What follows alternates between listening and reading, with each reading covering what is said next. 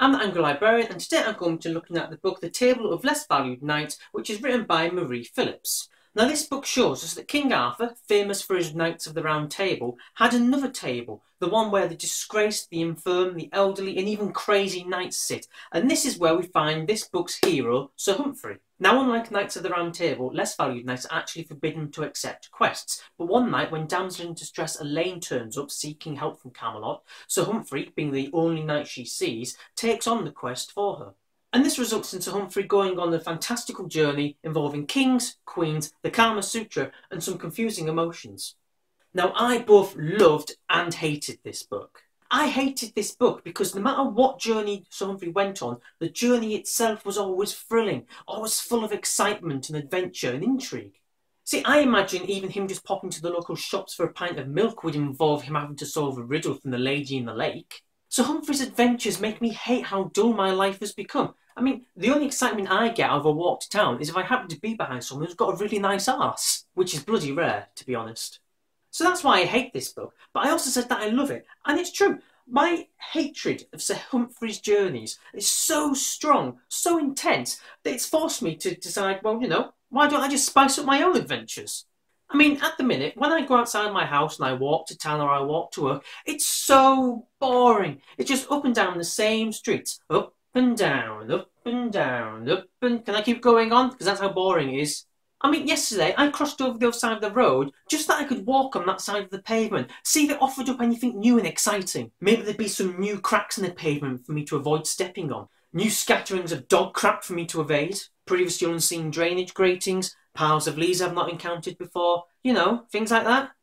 And did it help? Did my usually boring walk become something more exciting? Of course it fucking didn't! The grass may be greener on the other side, but the pavement's just as cracked and uneven. For God's sake, what was I thinking? So, as I was saying, so intense is my envy of Sir Humphrey, which, let's face it, is a made-uppy fictional character. That's right, I envy a fictitious, disgraced knight. And so strong is that envy that I decided to take matters into my own hands. I've decided that I'm going to force adventure into my journeys. But how? By hiring ninjas to strike me from the shadows of bus stops? Perhaps by creating a papier-mâché dragon, fitting it with a flamethrower, and asking a friend to attack me with it at a random point along the way. By hiring my minions, all good librarians have them by the way, to scream at me, lining the roads everywhere I go, cheering me on, wanting nothing more than me to take on their quest, fainting at the sight of me. Well, not quite that, but by using my imagination. You know, maybe the next time I pop to the shops for some milk, I'll have to solve a riddle from the lady in the lake. Hang on a minute, I live in Essex, so it's probably going to be more like I'll have to pass a test from the tart at the tills. Yeah, that's it. But hey, it's a start! You know, instead of just going to work with my packed lunch and my glasses, I'll be taking battle rations and a sword. I'll be daring, charging into the fray, doing battle with the evil ogres that dare stand in my way. Actually, the whole ogre thing wouldn't be that hard to imagine considering the state of some of the people I serve on a daily basis. And whenever I serve one of these ogres, instead of stamping the returned it in their books, I'll stamp their soul straight to hell. Abandon all hope you enter into my library, refusing to pay your 10p fines. I, Lord Craigus, warrior of England, shall make you pay with your life. I'm really getting into this. And just because the knights in this book started off this whole idea, it doesn't mean that everything has to be Camelot and knight related. I mean, there are dozens of heroes and role models out there that you can take inspiration from.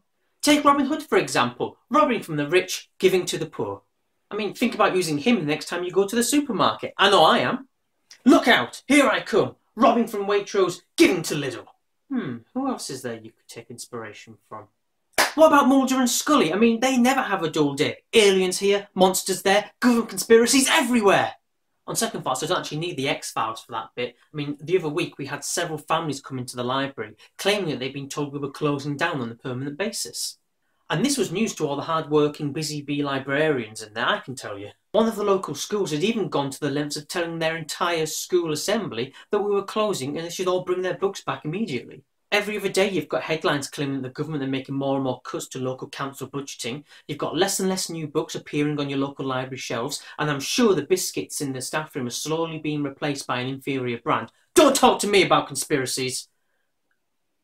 How did I get onto conspiracies? What was I supposed to be talking about? Ah yeah, journeys. But what if your imagination isn't up to the task of creating a whole new reality every time you feel like having a jaunt outside your front door? I mean, are you doomed to live a beige-tinted existence for the rest of your life? Of course not. Your imagination can't fix all the problems in your life. You know, sometimes you've got to get practical. I mean, let's start with the basics. Do you walk everywhere you go? Yes? Why? Change it up. Go rollerblading, go skateboarding, go zorbing down a country lane, hang gliding to the town centre. Are you tired of riding that same old knackered horse to the office every day? Won't make a difference? Save a horse and ride a cowboy. They'll always make sure to get his permission first. Cowboys not your thing? Well, let's go back to the book and do what Sir Humphrey Squire Conrad did. Trading your horse for an elephant.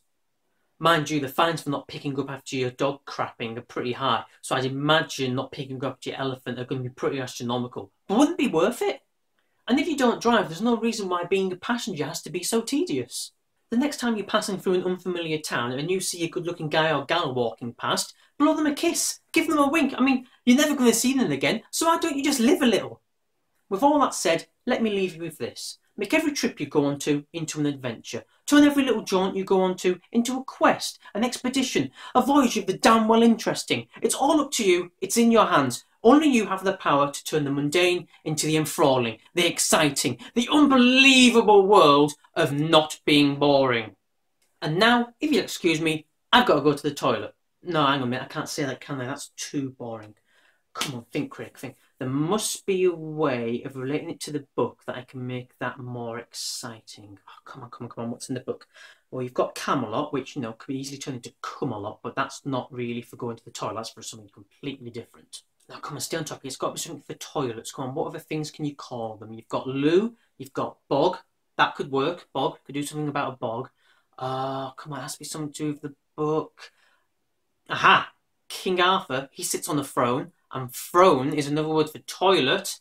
I've got it! Right, if you'd excuse me, I'm off to go claim back my throne from the evil-doing fiend who dwells within the malodorous bog. To adventure!